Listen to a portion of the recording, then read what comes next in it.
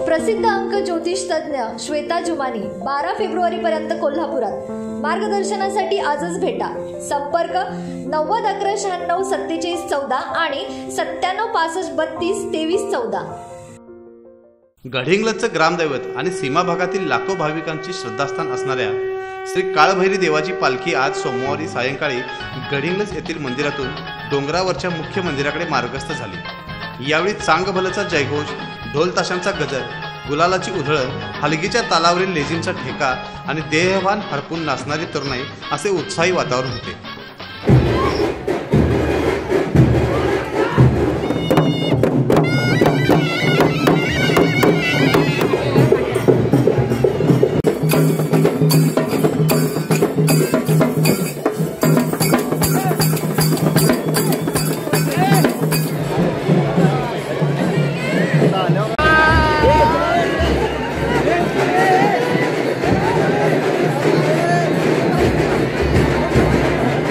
काळभैरीची यात्रा उद्या मंगळवारी आहे.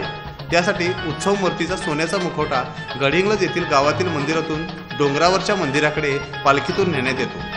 या पालखी सोहळ्याच्या दर्शनासाठी हजारो भाविक पालखी मार्गावर गर्दी करतात. पालखीच्या पुढे सासनकाट्या चालत असतात. काळभैरी मनातल्या इच्छा पूर्ण करतो या भावनेतून सासनकाट्यांना गोंडा बांधण्याची पद्धत इथे पूर्वापार रूढ आहे. भाविकांसोबतच तरुण मंडळांचे कार्यकर्तेही पालखीसोबत ट्रॅक्टरमधून मोठे गोंडे डोंगराकडे नेतात. पालखीसोबत मानकरी असतात.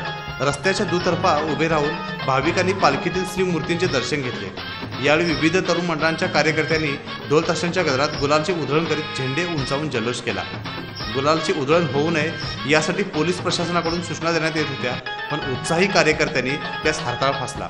नेहरू चौकातून बाजारपेठच्या मुख्य मार्गावरून वीरशैव चौकातून पालखी काळभैरी मार्गावरून पुढे मार्गस्थ झाली. यावेळी भाविकांच्या गर्दीने रस्ते चौक फुलून गेले होते. लाईव्ह मराठीसाठी प्रकाश सोते गडी न्यूज.